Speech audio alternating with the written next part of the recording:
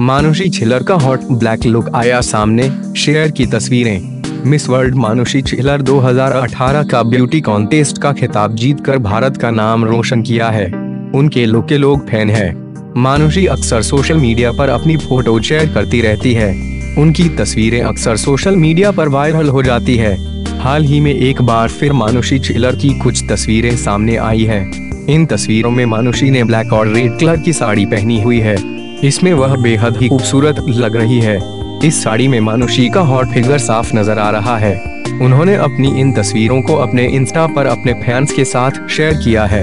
इन तस्वीरों के पोस्ट होते ही यह सोशल मीडिया पर तेज़ी से वायरल हो गई है। लोगों को मानुषी का यह हॉट ब्लैक लुक बेहद पसंद आ रहा है।